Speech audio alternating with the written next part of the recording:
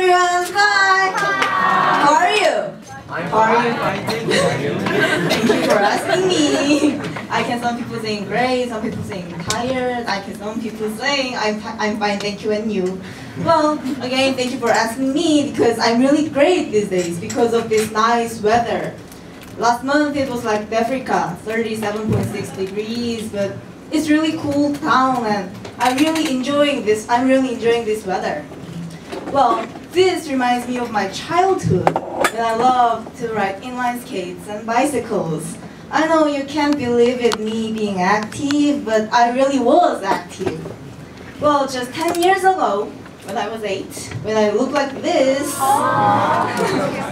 I want my cousins and I wanted to go to Home Plus by riding our bicycles because we loved riding them. It took about 25 minutes on foot to go there. But back in the day, there were no cycling lanes around my house and Home Plus and in between them. So my mom didn't allow us to go because it was too dangerous. I cursed the absence of cycling lane. I hated the mayor for not making those lanes. Well, now there is a long cycling lane that connects my house and Home Plus. I can go there anytime. But what matters now is my laziness. Anyway, lanes are not something you would think about deliberately. You don't really think about it. Do you remember the first time you saw one? Mm, I don't. Do you think you saw it on your way here? Um, I don't think so. I don't know for sure. But since the day I hated the mayor, cycling lanes have been developed. Literally developed.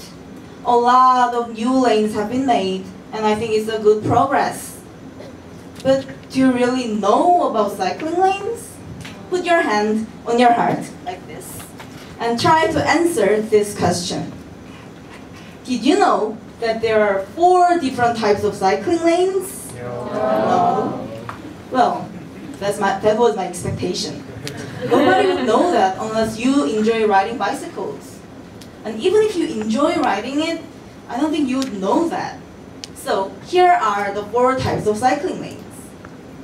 자전거 전용 도로, 자전거 전용 차로, 자전거 보행자 겸용 도로, and 자전거 우선 도로.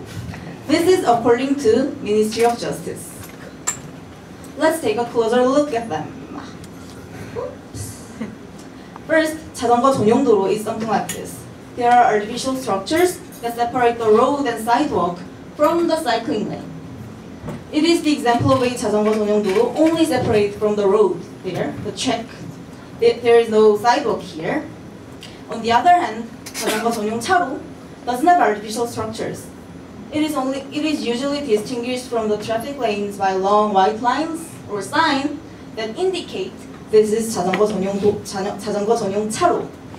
But you don't really see 자전거 전용 도로 nor 자전거 전용 차로 because it's rare.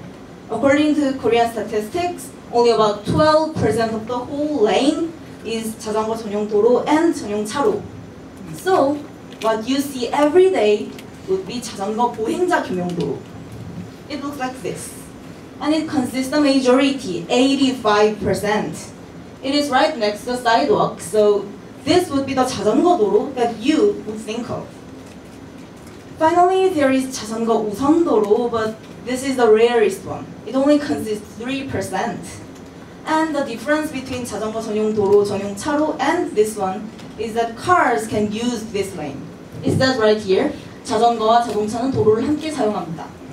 It is 자전거 우선, so bicycles are on the high priority, but cars can also use this lane.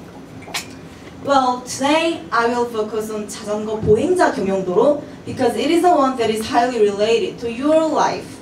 So from now on, when I say cycling lane, please think of 자전거 보행자 겸용도로, the bike ped- pedestrian using the road together, kinda cycling lane. Okay, everybody cool until now? Yes. Thank you. So, cycling lanes. The thing is that there are a lot of cycling lanes that are occupied by something else. Like this. Cars, roadside trees, telephone pole, so on and so forth. If you pay a little attention to cycling lanes, it is amazingly easy to find these kind of lanes. Then, let's think about how you would feel if you are a bike rider. On a sunny day, you're riding your bicycle, nice and slow. It is a perfect weather for a picnic, and you're enjoying this perfection riding your bicycle on the cycling lane. Like this. Nice weather, oh, it's perfect. Uh-oh, suddenly you find some cars parked on the cycling lane 50 meters away from you. The cycling lane you're riding your bike on is already tight because of the roadside trees, and there are cars blocking your way. But there is no option for you. You have to ride your bicycle on the sidewalk for a moment. And people are walking there. Er, you start to grow angry. But there is really no option. Sidewalk and side, sidewalk and cycling lanes are both occupied. You choose to get off your bicycle and walk. Your perfection broke. Does this story sound nice? No. I think I would want to call the car driver and yell at him. Why did you park here? But this would not help solving the main problem. Aha, right. There are some underlying problems in this situation. The cycling lane is never big enough for riders. Can you see this picture? It is near here in front of Keimyung College. And we can see that cycling lanes have been developed. These lanes didn't exist 10 years ago, and now they do. It is a huge progress. But wait, you can easily find the mistake of the local government too. The bus station on the cycling lane? Why the telephone pole and trash bin is occupying half of the cycling lane? Come on, do you think two bike riders would pass through these kind of lanes? No, they cannot. It is impossible. We need some immediate change. It is time for the local government to fix this problem. In addition, there are some things that Korean government can do. Do you remember this car driver who parked his car on the cycling lane? Yeah, I mentioned him before. Well, if you pay a, pay a little attention to your surroundings this time, you'd easily find these kind of drivers.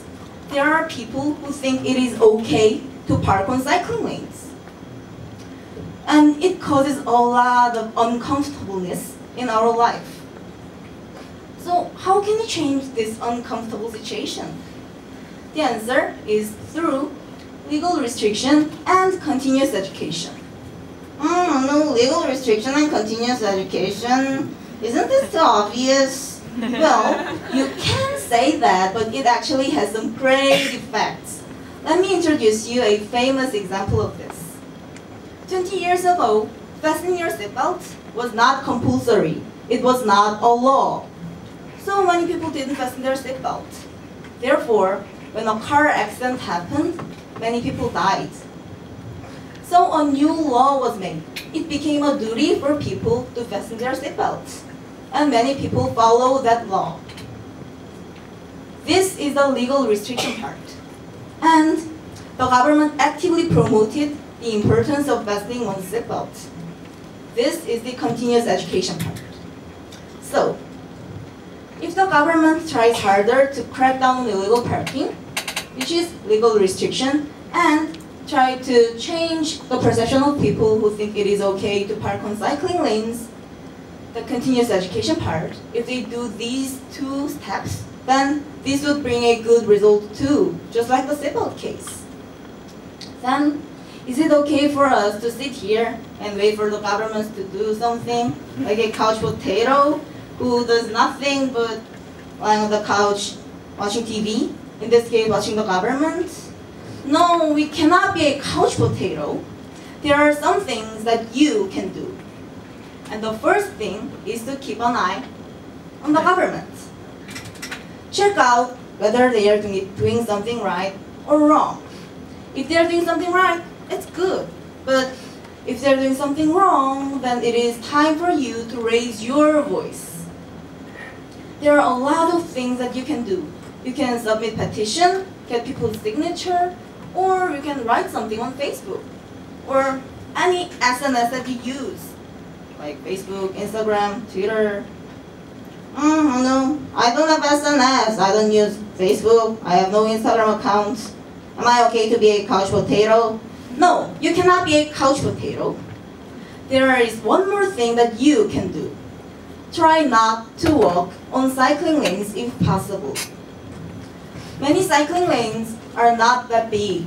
It's literally cute and little. And most of them are occupied something else, occupied by something else. Cars, trees, telephone pole. So if people are walking on cycling lane, then bike riders would have to ride their bikes on the sidewalk where they are not allowed to ride their bicycles. And if people are walking both on cycling lanes and sidewalk, then there is nowhere for the bike riders to ride their bicycles. So when you're walking, please be aware of where you're stepping on. If you're on the cycling lane, move quickly to sidewalk. This is the idea that I wanted to spread to all of you.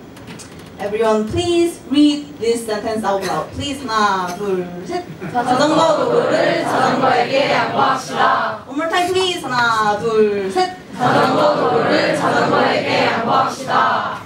With your little help, Korea can be a better place to live in.